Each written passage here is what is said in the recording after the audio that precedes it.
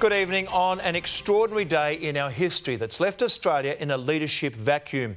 The situation tonight is that Malcolm Turnbull is clinging to power as Prime Minister, even though his supporters have abandoned him. And three Liberal heavyweights, including WA's Julie Bishop, are working the phones to claim his job in a head to head showdown tomorrow morning. Well, good to welcome you. A day that will live in infamy in Australian politics. Australians will be rightly appalled by what they're witnessing in their nation's parliament. Left Malcolm Turnbull crippled, desperate, clinging on and fighting to the death. Uh, I, I, don't want to. Um, I regret as senior ministers resigned and his support crumbled. Malcolm Turnbull, for now, is going nowhere, setting up hurdles. I now await a letter uh, with the signatures of a majority of the party room. Before he calls a special meeting for high noon tomorrow. These are momentous times and it's important that people are accountable.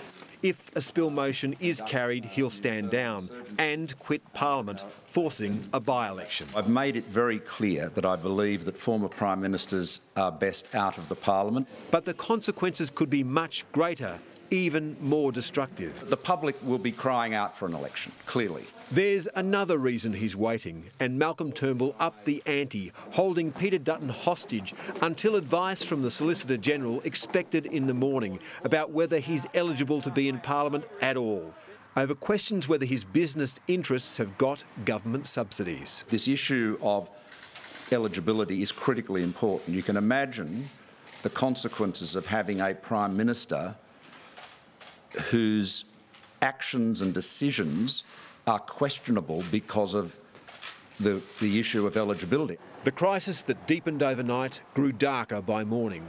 Peter Dutton spoke to the Prime Minister, told him he'd lost the support of the party room and demanded a meeting to spill the leadership. I wouldn't have uh, contacted the Prime Minister if I didn't believe that we had a majority of support. It got worse for Malcolm Turnbull when key backers, loyalists Mathias Cormann, Mitch Fifield and Michaelia Cash went to his office, tapped him on the shoulder and resigned from Cabinet. It's with great sadness and a heavy heart we believe that there should be a party room meeting to resolve uh, the issue of the leadership of the Liberal Party.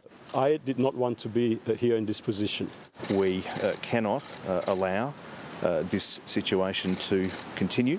These are uh, difficult circumstances. I do not believe he has the confidence of the party room. By mid morning, there'd been a wave of resignations. 12 quit, deserting the Prime Minister. Others were standing behind him. I've spent the morning with the Prime Minister uh, and the evening with the Prime Minister, and I am 100% supportive of the Prime Minister. If Malcolm Turnbull stands down, Peter Dutton will contest the leadership against Julie Bishop and Scott Morrison. This morning, he led the Prime Minister into the House.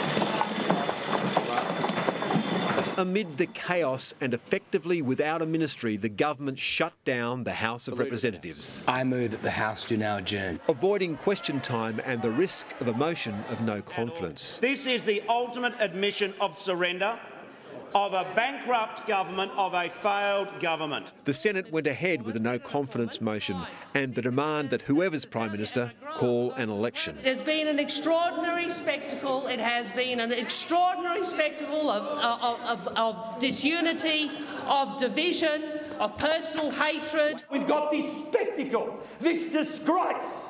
You should be ashamed of yourselves. The Prime Minister was equally furious with his own and some in the Conservative media for a campaign to bring down a leader more popular than his opponent. A minority in the party room, uh, supported by um, others outside the Parliament, have sought to bully, intimidate others into making this change of leadership. Late in the day, the Dutton camp withdrew the petition saying it was now up to the party whip to call the Liberals together, and a dark day in Canberra rolled into an uncertain night that held the promise of chaos in the morning.